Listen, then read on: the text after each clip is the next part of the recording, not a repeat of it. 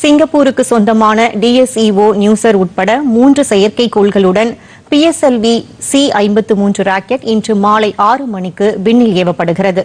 சென்னையை அடுத்த ஸ்ரீஹரிகோட்டாவில் இந்திய விண்வெளி ஆராய்ச்சிக் கழகமான இஸ்ரோவின் இரண்டாவது ஏவுதளத்தில் இருந்து செலுத்தப்பட உள்ள இந்த ராக்கெட்டிற்கான இருபத்தைந்து மணி நேர கவுண்டவுன் ஏற்கனவே தொடங்கி நடைபெற்று வருகிறது.